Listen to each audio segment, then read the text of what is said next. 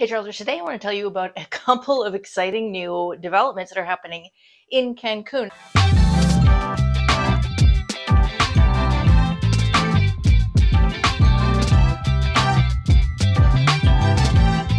It may or may not affect your travel if you're heading there for spring break, but if you're heading there this fall, these could be total game changers for you. So, first things first, the traffic in the Cancun Peninsula has been pretty horrific. I mean, it's obviously there's been problems as they've been developing the new Mayan train and building that line. They've also been working on ways to improve the traffic in and out of the Cancun Peninsula. And one of those developments is a brand new no toll bridge. This is the Nichupte Lagoon vehicular bridge. It's, it's going to be quite interesting. It's going to have a bike lane. It's also going to have three lanes, and one of them in the center is going to switch and alternate directions depending on the traffic flows. So this may or may not have much of an impact to tourists. The most significant change is going to be for all the workers in the region. I mean, think about it. There's so many hotels and resorts in that area. So the tens of thousands of workers that go there every single day, instead of them all having to either go through the downtown Cancun route or go way back to the airport and head back up to the hotel zone, this is going to really streamline it. It's going to be following along the highway on the mainland side cross the lagoon over to the Kukulkan Boulevard. It looks like it's going to join onto the peninsula somewhere just below Plaza La Isla. So we'll see how this goes.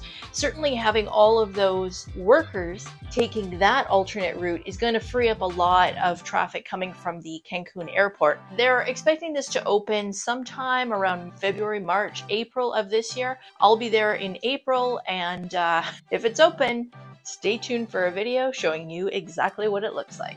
So the other thing that sort of quietly happened, kind of like that Tulum airport that just popped up out of nowhere, is a brand new destination mall. It's called the Grand Outlet Mall, or they call it the Go Mall for short, and is located just south of the Cancun airport. It's actually been open since the end of August of last year. Just like a resort, opened up. Not necessarily everything was open, but there's going to be a lot of stuff coming very soon.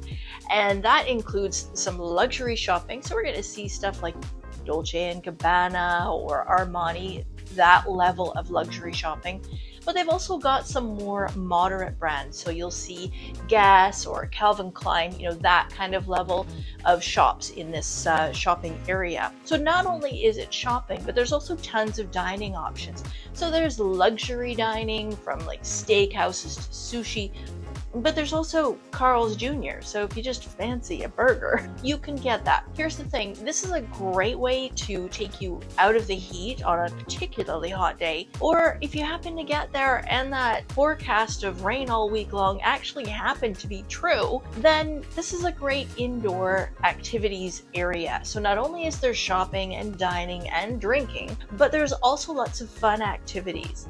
There's a drag racing track where you can go head to head in a 1967 Chevy Camaro or a 1970 Dodge Charger. There's also mini golf, hot air balloon rides, go karts, extreme trampolines. This is coming soon. They're going to be building an Olympic sized ice skating rink. So just imagine that you leave the cold weather in Canada, US, the UK, wherever, and you head down to sunny Cancun to go to an ice skating rink. It's vacation. You can do what you like.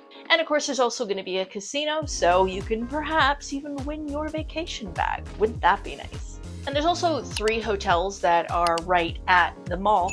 So if you find yourself needing an overnight hotel very close to the airport, these are probably some great options for you. So some pretty exciting news. I'm excited to see what this looks like.